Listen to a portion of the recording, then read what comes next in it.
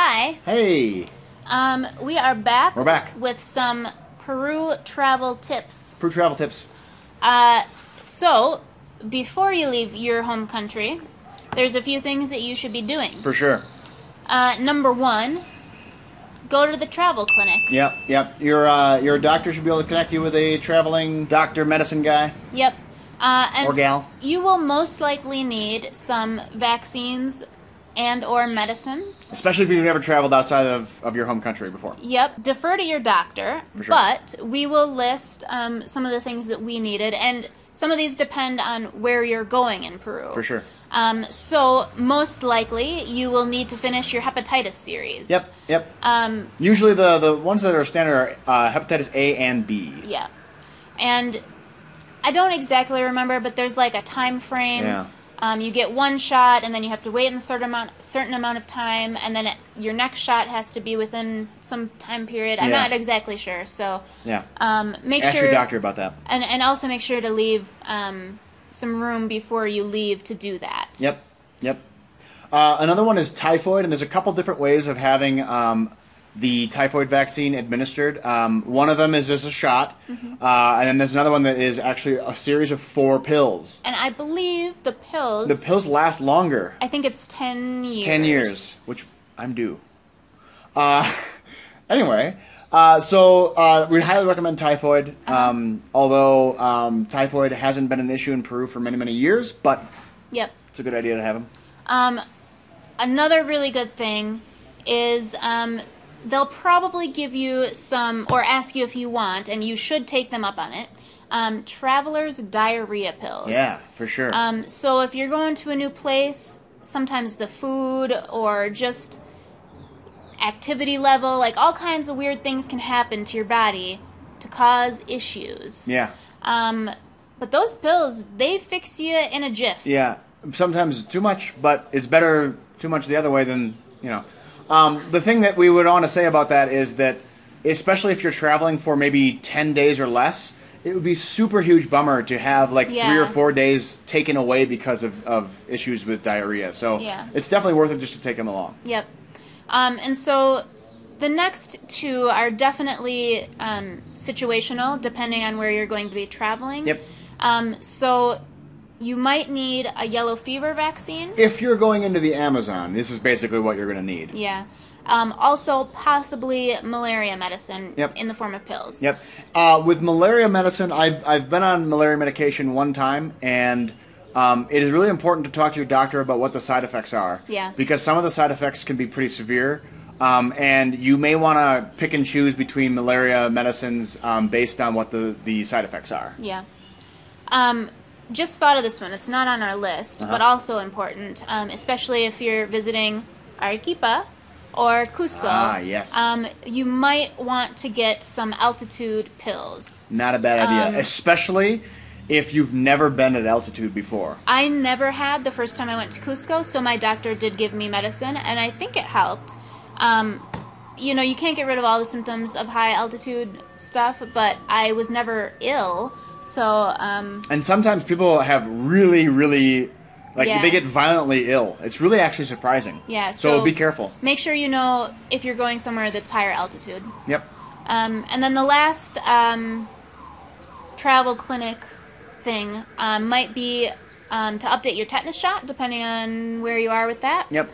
Um, and then also diphtheria. Yeah. In the United States, usually tetanus and diphtheria are administered um, Regularly, together. yeah. No, they're administered together Yes. in the same shot. Yeah. Uh, depending on your home country, uh, you should check out your visa requirements for Peru. So, as United States citizens, Yeah. when we come in, we don't even need to do any talking with any consulate or anything of of Peru before we come. Um, right at the gate, when you get off the plane, you can get between 90 and 180 days. Usually, for 180 days, which is around six months, you have to ask. Yeah. Um, and then depending on the um, on the agent, they'll give you those uh, 180 days. But the standard is 90 days Yeah, for a tourist visa. for a tourist visa. Um, but we will link the um, immigration website in the description box below. So check there for the requirements of your home country. yep. Um, the next thing that's rather important is money. Yeah. Um, so In, in case you don't know, the the currency in Peru is the sol. Yeah. Um, it is a very stable currency. It's um, got some funny money. It's, it looks it looks nice. Um, but uh, just so you know, using a dollar is sometimes acceptable in Peru, the U.S. dollar, but not always. In fact, the majority of places will not accept dollars. And if it is acceptable, you're gonna get Oh, a horrible price. Yeah, you'll so get- You're yeah. gonna need to change money, but Yep. the question is where How and when. when. Yeah. Right. So if y- if you have a bank in your home city or town, um, a lot of times you can go into the bank and they can order different currencies for you depending on where you're going. and that'll take maybe between three to six weeks to get. So just a little Yeah. bit of planning. just for convenience sake, let's say you're you're planning to bring a thousand dollars to spend on your travels while you're abroad. Don't change the whole thousand dollars with the bank. Yeah. Um, so the exchange rate at the bank in your home country is probably going to be a lot worse than what it is here in definitely. Peru. Definitely. Um, so, go ahead. So our advice would be to exchange at the most a hundred dollars. Yeah. And essentially a hundred dollars will get you from the airport Oh, in Lima, like way more. all right, to some other place to change money. Yeah. Just enough to get you from there to the exchange house. Yeah, and maybe have a meal on the way. A Right. hundred dollars will go a long way. A hundred so, dollars will go a long ways. Um, there's, um, you know, casas de cambios, um, where you would change your money, or in Lima specifically, in Miraflores, there's people on the street Right. um, that you can change money with. and those rates will always be better than the airport, Yes. which is kind of our, our next tip. Yeah. Do not, if you can avoid it, Yeah. do not change money in the airport. You will get a horrible rate. Um, again, if if you weren't able to get money in your home country, um, only change a small amount at the Yeah. airport, just enough to get you out of the airport Right. to wherever you're going and staying, Right. so that you can find a change house where you can change money. I would recommend never more than fifty dollars US at Yeah. the airport. Never more than that. It's going to be a bad rate. Yep. Yep. Um, the next one I'm going to let you talk about because I'll be honest, I don't fully understand. Yep. So, So, um, check your electronics, especially if you're coming from the United States. Peru and the United States do not use the same voltage. Um, in Europe, most parts of Europe, I think you're going to be using the same, um, but then you'll have a different problem. So we'll get to that in just a second. So um, check out on your um, on the thing you plug into the wall uh, for your laptop or your cell phone or whatever. On there, it'll say it'll say input. The input thing should say between 100 and 240 volts. So in Peru, the standard is is 220 or 240 sometimes, but mostly 220. If your device says between 100 and 240, then you're you're totally good for Peru. The voltage will be happy, and your your device will not get fried. And I will say that the majority of cell phone Yep. chargers and laptop And chargers laptops. and I, iPads, um, tablets, you're going to be okay plugging those in. Yep. But You should double still check, check. You should because definitely you still don't check. you don't want to blow anything up. Yep, yep. Um, and you won't lose your device, but you you'll you'll burn your charger. That's what's going to happen. So um, so check that first, um, and then also just uh, an additional thing with with high wattage. Now we're not talking about volt. Now we're talking about watts. Um, that'll be the thing that says you know a number and then a, a, a, an uppercase W. Um, if that is above probably 200 watts, um, you probably don't want to bring that along. Yeah. Um, because 200 watts is going to be larger than a like a standard voltage converter that you can buy on the street, and you don't want to have to buy a big one because first of all it's going to cost more money, And they're really heavy. but they're also extremely heavy, which is kind of our next our next uh, uh, suggestion Um, is Before you do that, Yeah. I want to say that those high wattage things for for women Yes. and and men um, are things like hair dryers, um, straighteners, and curling irons. Those are those are big big hitters. Yep. So if you're someone who likes to have a hair dryer and stuff, be real careful because that's uh, that's an issue. But along the same lines of this next next tip is buy them here. So you can get I don't know you just recently got a, a curling iron, I bought a straightener. yeah, a straightener, and it wasn't it wasn't um No, it was it was it's a nice brand. yeah and um, like twenty bucks, Yeah, it was around twenty dollars. twenty five maybe. Dollar Um, dollars, not dollars. soles. Yep. Yeah. So um, with with voltage converters, you may want to just buy that in the, your destination country. So here in Peru, you can get a 200 watt voltage converter. So in other words, that's that's for appliances or things that you plug in that are 200 watts and less um, for around ten dollars. And the reason you might want to consider buying that at your, at your destination, and, and this may apply even if you're going from the U.S. to Europe, um, is because they're heavy. Yeah. These little things are heavy. They have a bunch of plates in them to actually to, to change the voltage. Um, and they're heavy, and sometimes they're a little bit space consuming. And so it might be nice to not have to travel with them when you go. And so if you have a little extra, you know, ten to fifteen dollars to, to chuck, um, you might want to get it in your home in, in your destination country Yeah. um, instead of traveling with it. Yeah. Uh, the next thing is to know what your plug shapes are. Right. Um, so your actual plug that you plug in to the plug-in, Uh, Plug into the wall. yeah, Right. um, can differ from Yep. country to country. Yep. So here in, in South America, um, I think it's mostly Chile and Argentina's fault. Uh, is two just only two pegs that are circular.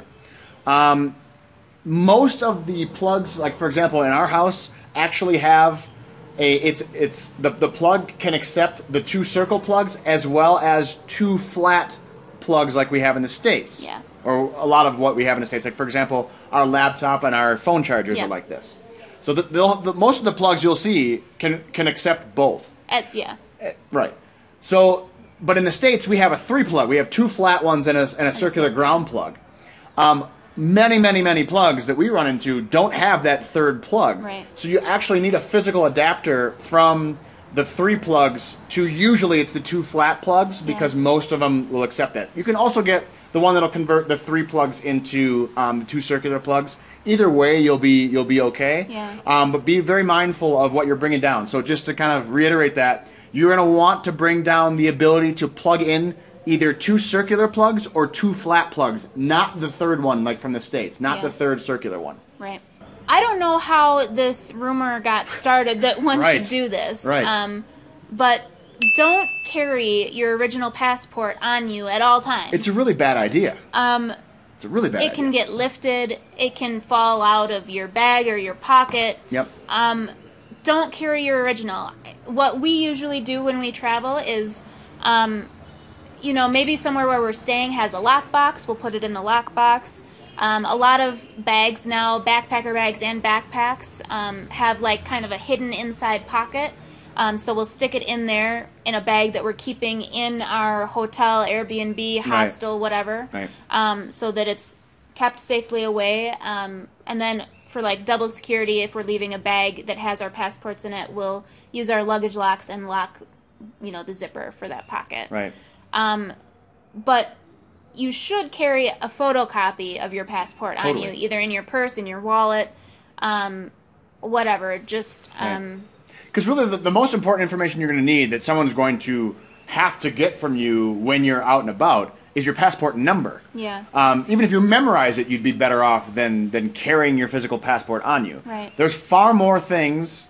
So a lot of this is experience, and actually, I'd like to ask you guys if you know of a reason why you should carry your passport on like you, the original. the original that we just don't know about. Let us know because we, we Yeah. hear this from time to time, and I I've been traveling around. I've been traveling outside the United States for 12 years. I have not once needed to have my physical original passport No. on me ever. Like you might need your number if you're Right. going on tours and stuff. Right. They'll they'll want like your name and your passport number where you're from. But a copy will suffice because Totally. that that'll have your number and everything on it. Right. Um, and then if you lose your copy, you're not screwed. You Right. can still leave the country. So And also, just kind of as a side note, um, making copies of your passport is a, is a decent idea. You should leave it with like a, an emergency contact person in your home country. Yeah. Um, a, a copy of your of your passport, so that if something happens to you, they have a copy of your passport. They have your number. Blah blah blah. And um, so you should be making copies of your passport anyway. Um, but I, I just I, I've heard so many stories of people losing their passport, and when that happens, it's a nightmare in some cases. It really um, is. If you are in a city with no consulate or no um, embassy of your home country, you have a problem.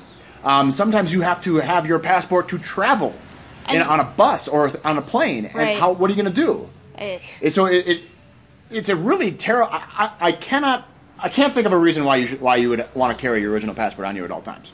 Don't do it. yeah. I mean, it's it's gonna happen, especially if you're like Clint. So Clint is very handsome, and he has these very beautiful blue eyes. and really nice hair. Wow. Uh, I mean, kind of be prepared to be gawked at, Yeah. uh, especially if you have like lighter skin, lighter eyes, lighter hair. And if you're if you're traveling to places that are not really on like a an established tourist, you know, route, The Gringo Trail here. the Gringo Trail here is what they what they call it. Uh, if you go off that, um, some you may be totally different than what a lot of people have experienced, and the, you're gonna you're gonna gather a lot of attention just simply by being there. And along with that, um, you're also going to be solicited a lot um, to buy goods, to Yep. buy food, to buy anything. Trinkets, tours, food, Yep. you name it. Um, so just be prepared. And we said it in another video, but just learn to say no nicely. Yep. If you aren't down. So Yep. that's it. Yep. Uh, another fun one, um, especially if you're from the states, I think would be safe to say. Uh, the cars will not yield to you. Pedestrians don't have the right They of way. do not have the right of way. Other cars do not have the right of way. I mean, it's uh, the the streets can be pretty dangerous. You have to be hyper aware of where cars are around you, how fast they're moving, if they see you, if they don't. Just assume that they don't. Um, it can be dangerous. So be Yeah. be very careful when you're in the street. Yep. Uh, the next one's fun. Yeah. Um, so greetings here are different than what we're used to in the states, anyway. Mhm. Um, so you usually give kisses when you meet someone. Yeah. Um, so for a woman, um, I would kiss men on the cheek and women on the cheek. Important important note. It's the right cheek. Yeah, You're sharing your it's, right cheek. It's always the right cheek. Yep. And it's not the two. Yep. It's not two. it's uh, one. It's just one on the right. Yep. Um, so for as a woman, I I would greet both men and women this way, and for Clint as a male, he would kiss women on the cheek and shake men's hand. Yep. Um, so that's just a little different if you're meeting and greeting locals or if you have a host family. Yep. Um, that's that's a thing. Yeah, don't get uh, don't don't get uh, don't jump when when someone comes into your personal space Yeah. because they will for for that greeting. Yeah. Another one that's interesting, especially if you're traveling to Peru um, and places like it for say less than two weeks, there's no reason to drink the local water uh, out of the tap. Do not drink out of the tap. Um, just buy uh, bottled water. Sometimes when we travel, because we hate getting all the plastic, um, is get the really big jugs and then refill your um, water bottle. I would highly recommend against uh, drinking out of the tap. There are some places in Peru where it's okay to drink out of the tap, but there's no sense in researching it and taking the chance to to, Yeah. to ruin what might be a short trip on a waterborne illness. Yep. Um, we had a question about this in one of our comments. Someone asked us if it was true if you can't put your toilet paper in the toilet. It's true. It's true. Do not throw the paper in the toilet. Don't do it. Don't. Don't do it because then you'll have to, or if you do, learn how to say "I plugged the toilet and I'm stupid" Yeah. in Spanish. I don't know how to say that. I don't know. I mean, I plugged the toilet. I don't No, know. I don't know. Um, just don't do it. Their pipes are smaller here, Yep. so they don't have the infrastructure for the toilet paper to go down. It's gonna get plugged. Yeah, it will happen. It will will. happen. It's not a joke. Um, there's always a bin that's next to the toilet in both men and women's public restrooms and in hostels, People's hotels, homes that you go to. Yep. Um, you do your business and you put your paper in the bin. Mhm. Again, don't put the toilet paper in the toilet. Don't put anything besides stuff that comes out of your body in the toilet. Don't put it in the Don't toilet. don't put anything in the toilet. No paper products. No no toilet paper. No toilet paper rolls. No sanitary napkins. Nothing. Nothing No. goes in there. It will get plugged. It will get plugged. It will happen. And last, Uh huh. Food. If you come to Peru, eat all the food. eat every food you see, Um, with some exceptions. Uh, be be a little cautious of street food. right. Um, We've had street food. yeah. And we have not had issues. But we have definitely heard some stories of people having issues. I mean, I not guess, all street food is created equal. No, I mean, I guess use like use your wits. Right. Um, if it looks a little sketchy and dirty and gross, maybe don't do Yeah. that. Yeah. Um, also, we've mentioned emoliente before. Oh man. I love emoliente. If Oh, you man. don't know what emoliente is, it's this amazing herbal tea. Just go get it. Um, do it. Do it. Um, but I usually bring my own little to-go mug and have them fill up my to-go mug. She makes me carry it around with us all the time. Yeah. Um, so just be cautious, but seriously, eat all the food. Yeah. The, the- you will not encounter food you don't like down here. It, or if you do, there's something wrong with you. Um, those are all the tips we have. That's it. Uh, so Otherwise, enjoy yourself. This place is awesome. Yeah. People are very patient. Um, if you have any other tips of traveling in Peru or in Latin America, leave them below. We wanna we wanna hear about it. Yep. Um, otherwise, enjoy yourself. This is a wonderful, wonderful country to visit. Yeah. Have fun, and we'll see you later.